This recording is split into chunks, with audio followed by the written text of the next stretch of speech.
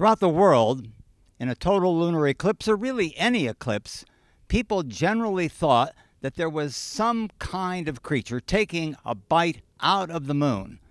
And that creature could be anything from a wolf to beast in the jungle to a dragon. And in fact, it appears to be the case that a dragon is on the moon's case tonight. And just as people in the past assembled to make noise in order to chase the dragon away, we too tonight are going to make our best effort to ensure that the moon remains safe.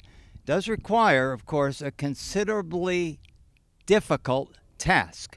It means chanting and making noise to scare that dragon away. Now, I can't do this by myself. You can see I don't have enough hands or volume. But the way it goes is like this Dragon, be gone. Dragon, be gone. Dragon, be gone. Dragon, be gone. Dragon, be gone. Dragon, be gone. Dragon, be gone. Dragon, be gone. Dragon, be gone.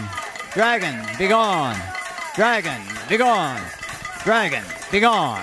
Dragon, be gone. Dragon, be gone. Dragon, be gone. Dragon, be gone.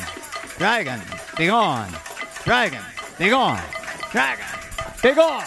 Be gone. Be gone. Be gone.